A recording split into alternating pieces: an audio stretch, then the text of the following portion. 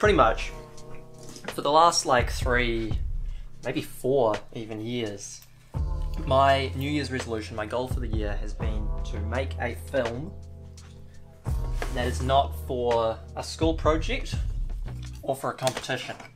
And in September of 2023, I did that.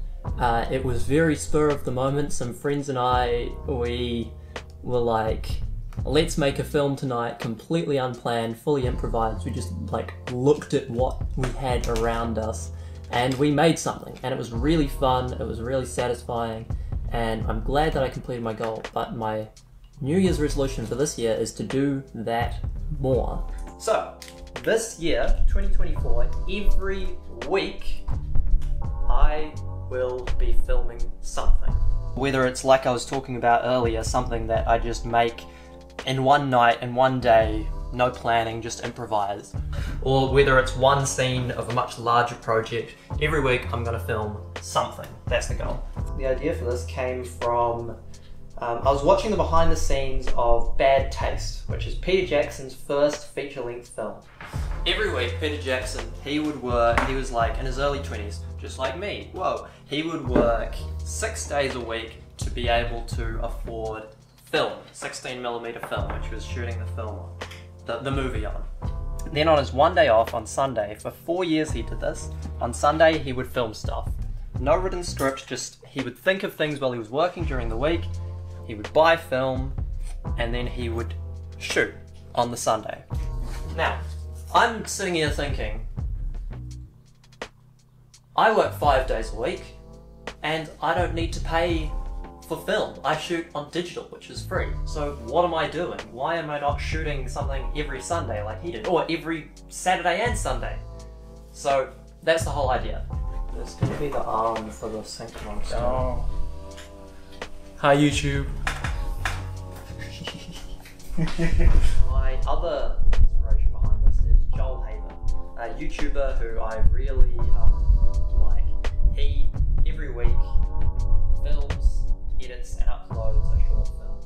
Um, usually completely improvised. Actually, I think it's always completely improvised. And um, yeah, just stuff like that. I'm like, I should be doing that. So that's what I'm doing. Um, there's this idea. In fact, I don't even know if I should call it an idea because, you know, regardless of what a story is about, that when it was, it will. The story will reflect the mind state and the life and the, the location of the writer when they wrote it.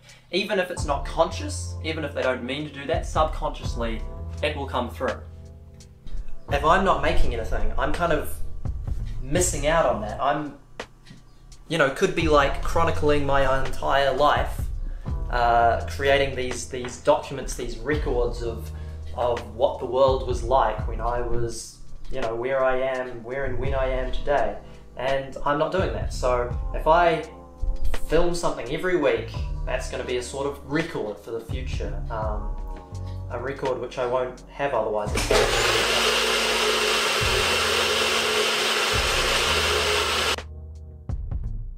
Um, what was I talking about?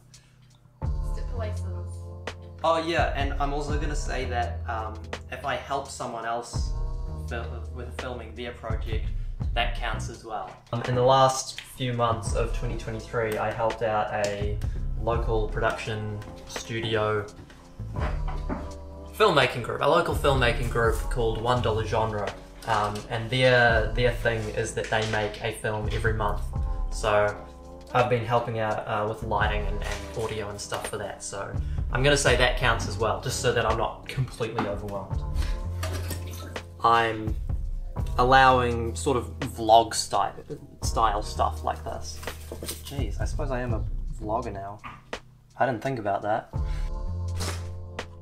Even though this isn't exactly one of what I want to be focusing on, I want to be doing more like narrative um, stuff with like stories and special effects and stuff. But um, this is still, you know, practicing the craft. I'm still familiarizing myself with like cinematography and camera angles and that. Anyway, so if you know me in real life, or even if you don't, I suppose, and you want to if you have any ideas for a film, I'm gonna be looking for ideas all year. Um, so yeah, approach me. I would love to collaborate with new people, even people who aren't like that experienced in filmmaking. I'm sure you still have great ideas. Um, so reach out, please.